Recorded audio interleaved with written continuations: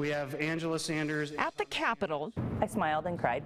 During the last few hours of this session, It was super fast. with hundreds of bills still being debated, A lot of people on the legislative floor got together and um, put their differences aside. there was one thing every single House member agreed on. It passed with flying colors, no objection.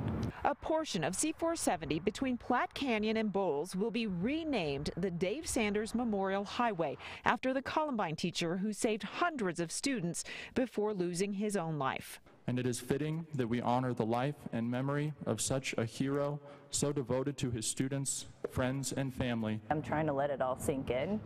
Um, but what a tremendously amazing tribute to my dad. Like a highway. My dad has a highway. Angela Sanders says her dad wouldn't have wanted this recognition. What would your dad think of this? That it was all too much.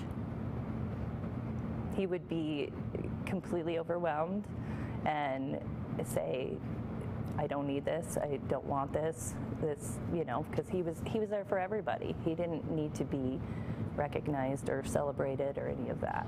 But the overwhelming support from the community shows he deserves it. His legacy will live on, and generations to come will learn about his heroic actions. I love, you know, the intersection, and I didn't even think about that. Like, I just thought this is considered our Littleton area, and it's like a big, giant, permanent hug from from Dad or Dave, or you know, however you knew him.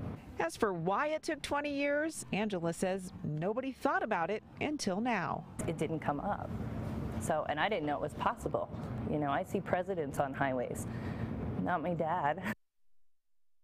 Well, they have set up